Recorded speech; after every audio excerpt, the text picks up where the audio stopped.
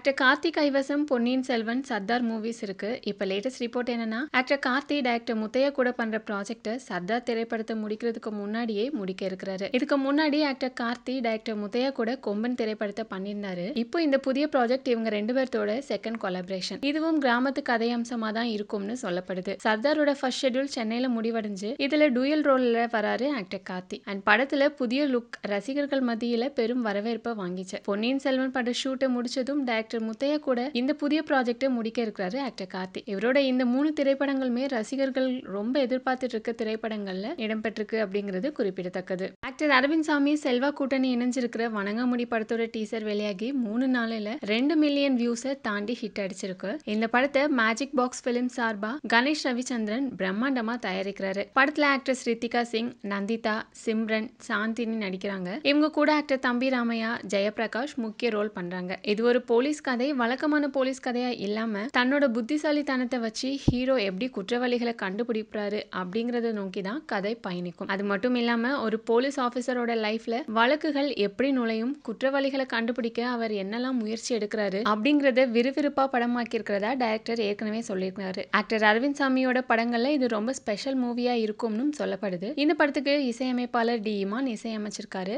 Gokul Binoy cinematography பண்ணியிருக்காரு.